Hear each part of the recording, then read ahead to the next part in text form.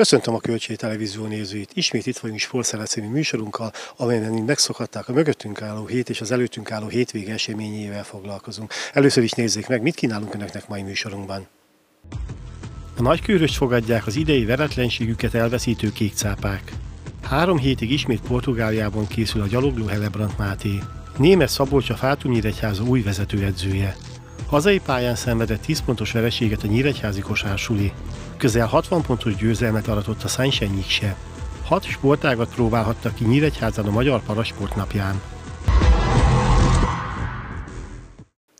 A TF Budapestől elszenvedett vereség után vasárnap ismét hazai környezetben lép pályára a Hübner Nyíregyháza Búsáks. A kékcápák a sereghajtó nagykörös fogadják.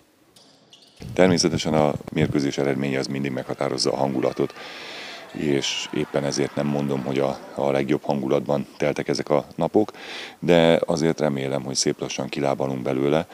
Bízom abban, hogy ez a, ez a pici letörtség azért, azért is kialakulhatott, mert a srácok is érzik, hogy ez a teljesítmény, amit a TF ellen nyújtottak, nem az, amivel mi eredményt tudunk elérni, és remélem, hogy ők is tudják, hogy ezen nekünk változtatni kell, és haladnunk kell ebből előre, és ki kell jönnünk ebből a hullámvölgyből. A hét közepén beiktattatok egy edzőmeccset a Debrecen kérésére. Milyen volt az élvonabeli csapat ellen játszani? Nagyon jó volt, és örülök neki, hogy a Debrecen kért tőlünk egy edzőmérkőzés lehetőségét bíznék abban, hogy ez már talán azért lehet, mert a, az erőnket vagy a teljesítményünket úgy értékelik, hogy alkalmasak vagyunk arra, hogy egy átcsoportos csapat ellen is edzőmérkőzést játszunk. Kicsit a mi játékosaink fejében kell rendet tenni annak kérdésében, hogy bármennyire is mérkőzés, ez edzés ez egy edzés, ahol ki kell alakítanunk dolgokat, ahol meg kell próbálnunk dolgokat, és lehetőséget adni olyanoknak, akik esetleg a bajnoki mérkőzésen kevesebbet játszanak. Tehát semmi esetre sem kell úgy tekinteni rá, hogy a legnagyobb erőbefektetést, vagy a legnagyobb erő leadást követeli meg egy ilyen mérkőzés, de szerencsére úgy gondolom, hogy a srácok szépen megállták a helyüket, jól küzdöttek, és bíznék abban, hogy ez azért a vasárnapi nagykörös elleni mérkőzésen majd mutatkozni fog. A nagykörös ideális ellenfélnek tűnik ahhoz, hogy visszatanulni a csapat a győzelem útjára, hiszen sereghajtó, viszont az elmúlt években többször is meggyűlt a cápákba ezzel az együttessel. Igen, nagyon jó volt az a kifejezés, hogy ideális ellenfélnek tűnik, hiszen amikor ide jön egy olyan ellenfél, aki alapvetően eh, nem esélyesként lép pályára, felszabadultan teher nélkül tud játszani, megpróbálnak mindent, és az esetlegesen elsülhet úgy is, hogy minden beesik, és nagyon nehéz dolog lesz ellenük játszani. Illetve azért a csapatban Dobos Laci is visszatér, aki mégiscsak elég magas, 220 centi fölött van, és az előző mérkőzésen nagyon szépen mutatkozott be. Mindenképpen erősíti a csapatnak, a nagykörösi csapatnak a szerkezetét és a, az erejét. Ennek ellenére azért nem gondolom, hogy bárki kételkedne abban, hogy mi győzni szeretnénk ezen a találkozón, és a minimális elvárás az, hogy mi ezt megnyerjük. Hogy hogyan, azt majd meglátjuk vasárnap, de természetesen örülnék annak, ha egy picit gördülékeny tudna lenni a játékunk, és esetlegesen közönség szórakoztató is. Ehhez mindenképpen az kell, hogy az első pillanattól kezdve keményen védekezzünk, és a kemény védekezésre alapozva tudjunk kialakítani támadójátékot. Bár az én elméletem egy picit különbözik a megszokottól, mert én a kontrollált és fegyelmezett támadójátékot szeretem. Abból tudjuk megoldani azt, hogy szervezetten és a lehető leghatékonyabban rendeződjünk vissza a védekezésre, és onnantól kezdve pedig már az egyik következik a másikból. Tehát annak örülnék, hogyha ezt a találkozót úgy tudnánk megnyerni, hogy az önbizalmunk is egy picit visszajöjjön, és, és a srácok is egy picit visszakerüljenek abba a kerékvágásba, ahol az előzőekben voltunk. Négy hetes portugáliai edzőtáborozás követően néhány napot hazai környezetben készült, aztán három hétre ismét Portugáliába utazott Helebrant Máté. A nyíregyházi gyalogló az év első versenyén Dudincén szeretné teljesíteni az olimpiai kvalifikációs szintet. Nagyon jól sikerült ez az edzőtábor, nagyon hasznosan telt. Uh, igaz, hogy mi a három hetes edzőtáborokhoz vagyunk hozzászokva, szóval ez a négy hét ez, ez már kicsit hosszú volt, főleg az utolsó hét, de a kinti körülmények, meg a, kinti edzések miatt nagyon fontos volt, hogy, hogy minél többet legyünk ott kint Portugáliában. Olyan edzéseket tudtunk kint megcsinálni, amit itt ilyen hidegben nem tudtunk volna. már, ugye már csak másfél hónap van a, a szezon legelső versenyeig, és ilyenkor már kicsi gyorsabb edzések is vannak, és ahhoz meg muszáj olyan időjárásnak lennie, mint ami ott volt kint Portugáliában, szóval mindenféleképpen nagyon hasznos volt. Mennyi könnyebbséget jelentett az, hogy voltak edzőpartnerek, hiszen a válogatottal voltál kint? Nagyon jó volt. Én ugye itt az év 90%-ában egyedül edzek, és ilyenkor azért nagyon jó másokkal is edzeni. Most ugye volt az egész válogatott. Igaz, hogy nem tudtak minden edzést velem végigcsinálni, de az edzések 70-75%-át azért meg tudtuk csinálni együtt, és hát nagyon jó volt, hogy együtt tudtunk menni, húztuk egymást, segítettünk a másiknak, és ilyen szempontból is nagyon jó volt, hogy, hogy nem egyedül kellett három hétig edzeni. Legfontosabb kérdés, hogy milyen állapotban egyrészt milyen fizikai, másrészt milyen mentális állapotban nézed magad? Most teljesen jól vagyok, mind fizikálisan, mind mentálisan. Ilyen felkészülésem eddig még nem is nagyon volt, hogy se sérülés, se betegség nem hátráltatta a téli felkészülésemet. Szóval novemberbe kezdtük az alapozást, azóta minden edzés százszázalékosan meg tudtam csinálni, semmi nem hátráltatott. Bízunk benne, hogy ez majd március 21-i legelső kvalifikációs versenyen ez majd hogy ott majd ki fog derülni, hogy, hogy tényleg minden stimmelt és minden rendben volt. Bízunk benne, hogy időben is és helyezésben is ez majd meg fog majd mutatkozni ismerős környezetben gyalogolsz majd. Ugye említetted, hogy az első kvalifikációs verseny jelent ez valamilyen nyomás, vagy pedig azért az ad könnyebbséget, hogy világranglistás helyezés alapján is ki lehet jutni az olimpiára, pedig jól állsz. Nagyon megnyugtató, hogy nem csak a szintidővel, hanem világranglista pontok alapján is ki lehet jutni. igaz, hogy nekünk a legelsődleges cél az a, a kvalifikációs idő megszerzése. ez a 3 óra 50 perc. nekem pedig 3 óra 43 perc az egyéni csúcsom, szóval hát meg kell lennie. Főleg úgy, hogy most Portugáliában volt egy 40 kilométeres tesztedzés igazából, ott versenytempóban gyalogoltam 40 kilométert, és bőven olimpiai szinten belül teljesítettem. Még úgy is, hogy nagyon-nagyon nehéz nimbes dombos terepen csináltam. De ha ez mégse sikerülne, akkor a, viszont a világranglista első 60 helyezettje indulhat az olimpián. Én meg ebbe bőven benne vagyok, szóval ez, ez megnyugtató mindenféleképpen. Mi a program a versenyig? kedden utazok vissza az edzőm Pokrovenszki Józseffel, ugyanide Portugáliába három hétre, és amikor hazajövünk, már csak egy hét lesz a versenyig, azt pedig itthon fogjuk tölteni, és innen utazunk majd Szlovákiába a versenyre. Az elmúlt hét elejé óta német Szabolcs a Fátum Nyíregyháza vezetőedzője. A korábbi másodedző az UTA elleni idegenbeli 3 0 vereség alkalmával mutatkozott be a csapat kispadján. Váratlanul ért persze, igazából a lányokkal együtt dolgoztunk, tehát minden napjaikban benne voltak, de maga az, hogy ebbe a pozícióba belekerültem váratlanul ért de az élet nem állt meg, tehát ugye most ebből a szerepkörbe kell a maximálisat kihozni magamból is, és ebből a szerepkörből kell kihozni a lányokból a maximumot. Ugye az elmúlt hétvégén már rögtön volt egy bajnok, az alapszakasz harmadik körét Újpesten kezdte a csapat. Mit tudtatok elvégezni, hogy mennyiben végeztetek más munkát az elmúlt héten, mint korábban esetleg? Edzőváltás ide vagy oda a bajnokságnak ebbe a szakaszában muszáj egy picit változtatni, mert ilyenkor már megismerik a csapatok a másikat, tehát hogy nyitott könyv minden csapat a másiknak, tehát aki nem változtat, az a végén feltételesen belebukhat abba, hogy ugyanazt a tendenciát folytatja, amit a bajnokság elejétől. Nem azért, mert hogy edzőváltás történt, mindenféleképpen szerintem a, a, a Laci is meghúzta volna ezeket a változásokat, vagy hozott volna változásokat, nem feltétlenül ezeket. Elkezdtünk egy picit más irányba menni már a támadás szekciókat, a támadás építéseket nézve. Ez nem kétnapos történet, tehát ugyanúgy, ahogy az a játék összeállt, az is, a, az is egy idő kellett hozzá, ehhez is idő kell. A vereségünk nem ebből született, nem ebből jött a vereségünk. A vereségünk az lehet, hogy kicsit szigorúan fog hangzani, hozzáállásbeli problémák voltak, egy kicsit akarat gyengék voltunk, ezen kell majd változtatni. Ez is az én dolgom, megyünk előre, dolgozunk és megyünk előre tovább.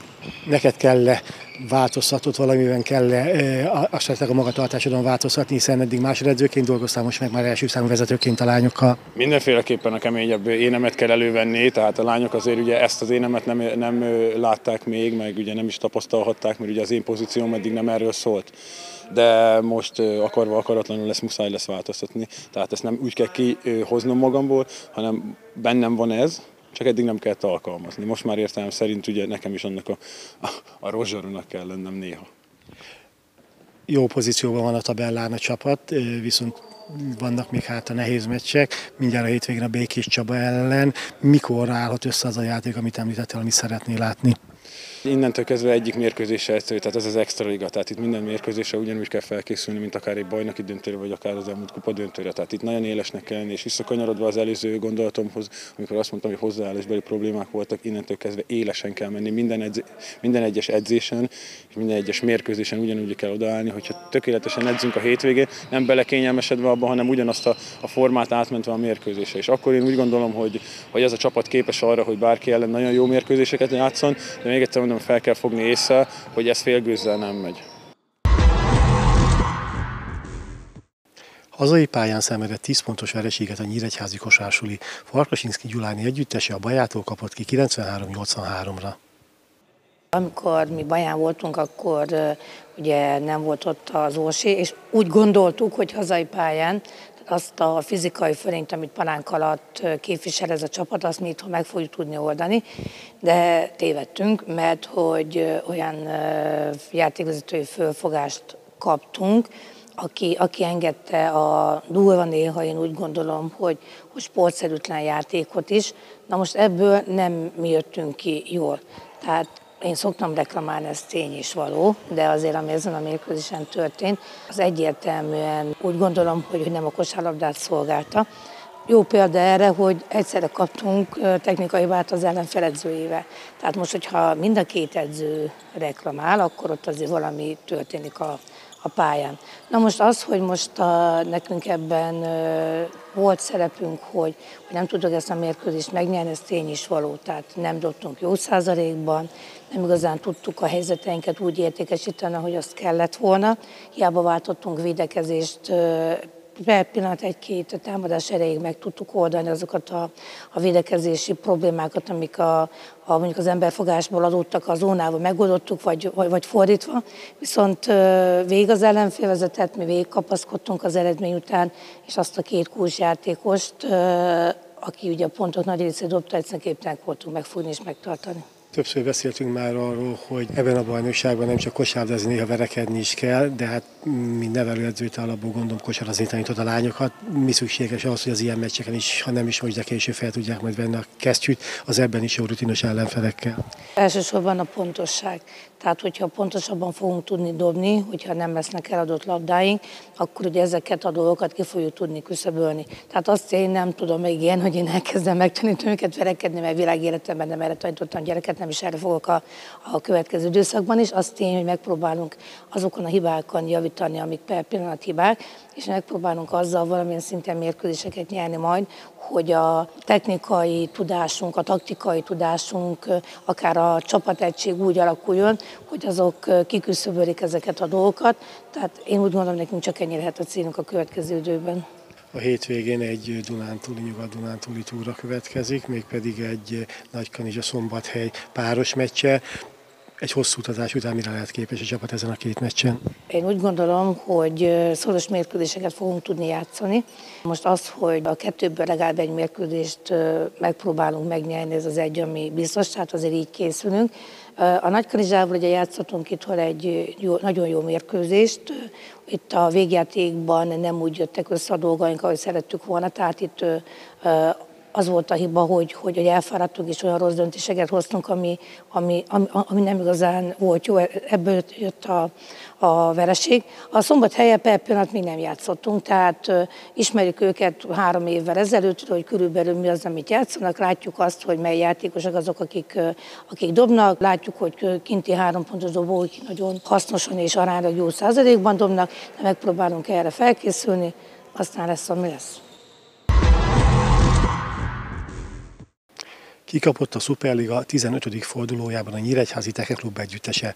Az NTK a Répcelakot fogadta, és a vendégek 7-1 győzelemmel távoztak a Városi Stadion tekecsarnokából. Tudtuk jól, hogy nem lesz könnyű mérkőzés, annak fényében mégis, hogy a Kakuk Levente többszörös világbajnok nem érkezett a répszelakiakkal, ugyanis gerinc problémákkal küzd, de ettől függetlenül így is volt még két válogatott játékosuk, úgyhogy ez mindent elárul a répcelak erősségéről. Már rögtön az első sorban nem sikerült a pontszerzés, egy pár fán múlott a Stier Tominak, illetve mellette a, a csapattársa már nyilván annyira sok fát kapott, hogy szinte behozhatatlan előnyre tettek szert a répcelakja, közel 100 fás előnyel már vezettek 2-0 arányba, és a középső sorban a Fehér Béla próbált egy szettpontot elhozni, ami sikerült is neki, azonban a, a túloldalon nem sikerült közelebb jönni, így a végén már csak azt lehet mondani, hogy le kellett játszani a mérkőzést. Itt a Hakedezsőnek még sansza volt a, a csapatpont megszerzésére, még mellett a Szilány egyértelműen nem. Úgyhogy a végére egy jó edzőmérkőzés kerekedett ki. Tudtuk jó, hogy ezen is túl kell lenni, ezen a párharcon is, és igazából próbálunk előre felenézni a következő mérkőzésekre, és erre próbáltunk felkészülni fejben is, és játékilag is. A hétvégén olyan mérkőzés következik, ahol ha lehet azt mondani, kötelező gyakorlatilag a bemarad szempontjából a győzelem a sereghajtó Kaposvárhoz utaztok, viszont sehol nem így Kaposváron sem adják ingyen a pontokat. Hát Kaposváron még soha nem sikerült diadalmaskodni. Minden évben nagyon kielezett párharcot vívunk, akár Kaposváron, akár Nyíregyházán.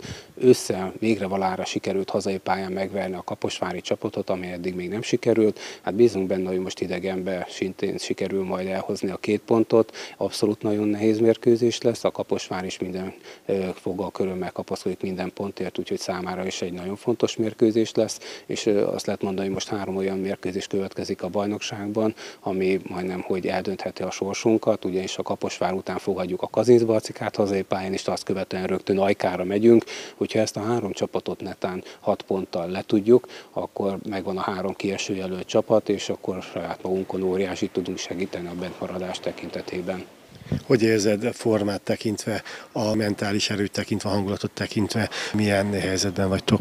A legnagyobb probléma az, hogy abszolút hullámzó a teljesítményünk, tehát minden egyes mérkőzésen vannak jól teljesítő játékosok, illetve egy picit alul teljesítő játékosok. Én nagyon bízok benne, mint a korábbi időszakban is azért jellemző volt a Nyíregyházára, hogy a nehéz pillanatokban össze tudtuk kapni magunkat, és akkor mentálisan valóban az ellenfél fölé tudunk majd kerekedni. Én nagyon bízom benne, hogy most is így fogunk Kaposvára a pályára lépni, és én úgy érzem, hogy abszolút három esélyes mérkőzés, de igazán félni valója a hazai csapatnak, jónak van, és bízom benne, hogy egy nyugodt játékkal, egy jó kezdéssel meg tudjuk majd lökni a szekerünket, és akkor végig kiélezett párharcon, de egy 5-3-as vendéggyőzelmet nagyon remélek ezen a találkozón. közel 60 pontos győzelmet aratott legutóbbi mérkőzésén a Sunshine Nyikse. Kovács Tibor együttese 114-56-ra verte a Kiskunfélegyházát. A papírforma alapján sokkal keményebb mérkőzésre számítottunk, ott is nagyon szoros mérkőzésen, de sikerült nyernünk. Amint hallottuk és beszéltünk ott az ottani vezetőkkel, és tapasztaltuk is, hogy egy építkezés kezdődött el Kiskunfélegyházán kosarabda szinten. Nagyon sok utánpótláskorú játékosuk van, és a felnőtt csapatot is szeretnék minden magasabb osztályba juttatni. Most az NBA 2 élmezőnye a cél, nagyon jó körülmények vannak, új csarnok, Szerbia közelsége sokat jelent, mert külföldi játékosok, szakemberek járnak át, edzőmeccseket játszanak, de az élet az közbeszólt, mert betegségek, sérülések miatt tartalékosan jött el az ellenfél. Így könnyebb dolgunk volt, de nem volt semmit a győzelem értékéből, mert ki kellett állni, játszani kellett, és aránylag könnyedében, de győztünk mivel lehet motiválni a játékosokat egy olyan meccs előtt, amelyre az ellenfél öt játékossal érkezik, tehát gyakorlatilag arra is figyelni kell, hogy teljes létszámban fejezzük be a meccset.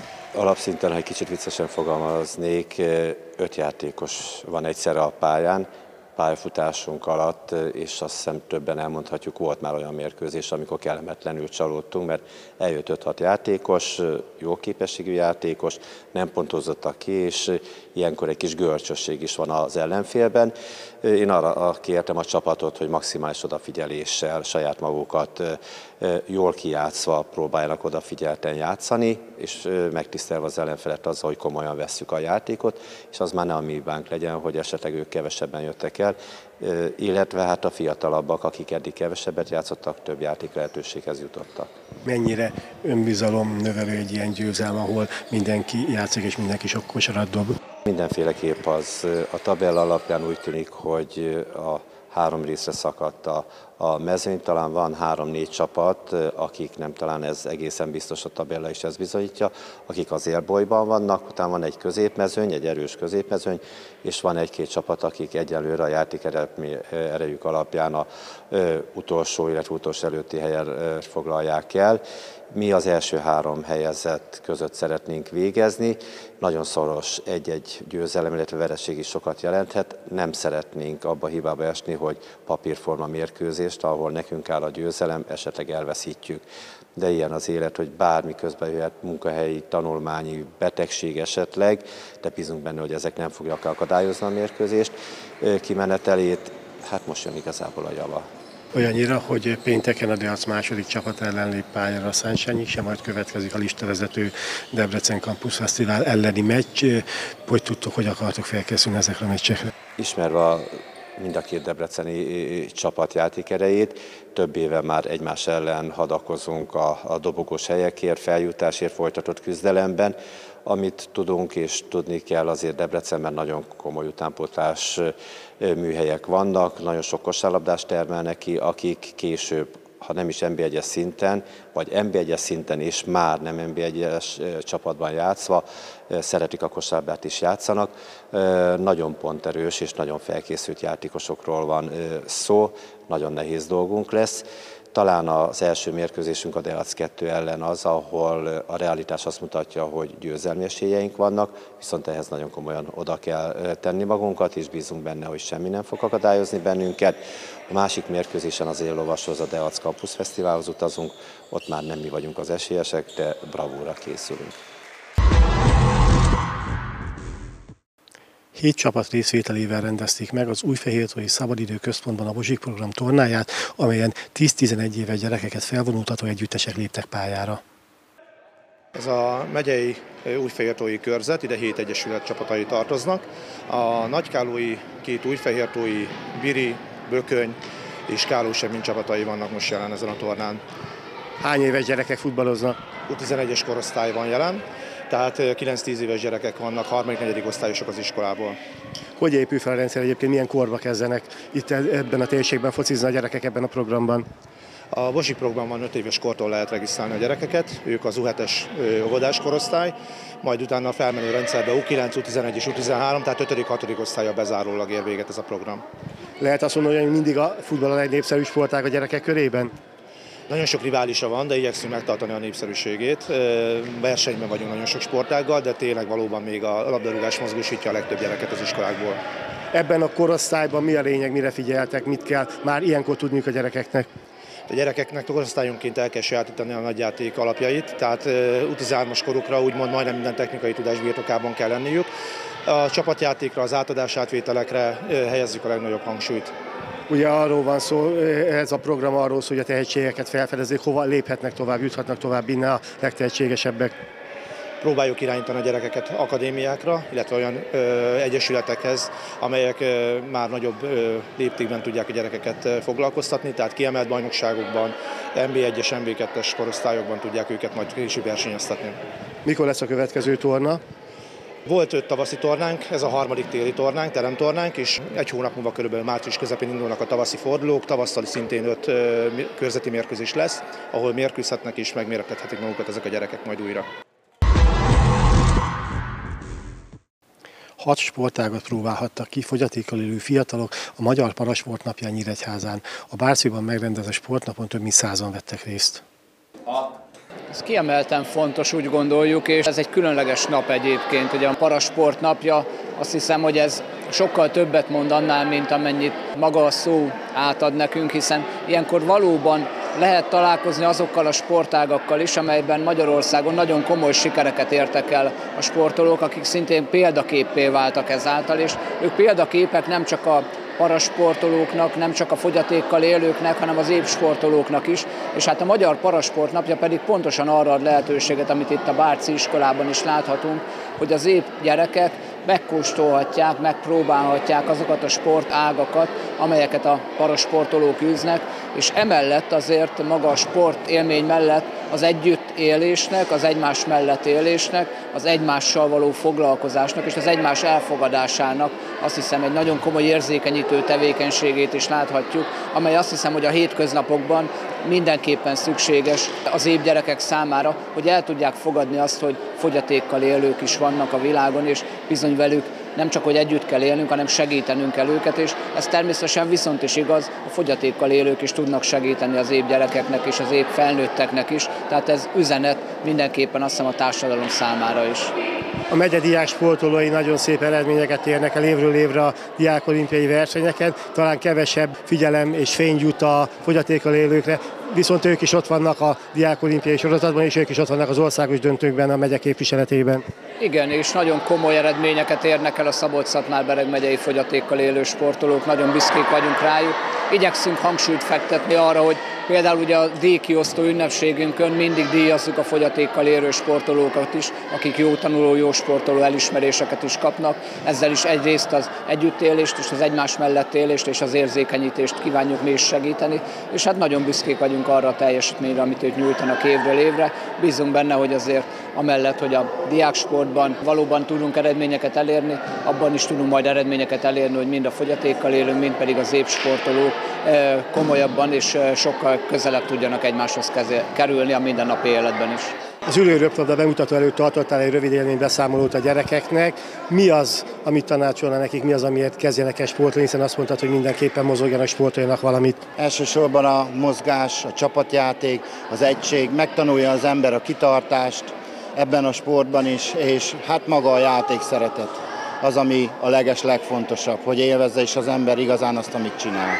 Te mit köszönhetsz annak, hogy elkezdtél ülőröplabdázni? Elsősorban azt köszönhetem, hogy a fizikai erőnlétem, az egészségem sok mindenben segített benne, illetve nehézségek, problémák legyőzésében is kitartást ad. Ad egy megfelelő tartást az embernek, ami alapján tudja kezelni a dolgokat, és előre mutat, mindenképp előre mutat. Valamikor a Piremonese révén ülőröplabdában Nyíregyház egyeduralkodó volt az országban, most milyen szinten van ez a sportág a városban? Most úgy vagyunk, hogy nagyon sokan abba hagyták ezt a sportot, és próbáljuk életben tartani, illetve próbálnánk segíteni a válogatottnak abban, hogy a fiatalok, akik most vannak, egyáltalán rászokatni őket a játék szeretetére, az, hogy ne csak akkor csinálják, amikor mi ott vagyunk, hanem vigyék tovább ezt az egész vonalat, mert hisz erre van szüksége teljes megújulásra, illetve fiatal utánpótlásra, akik szeretnek játszani. Ennyi fiatal mai sportszeletbe. Köszönöm a figyelmüket a viszontlátásra.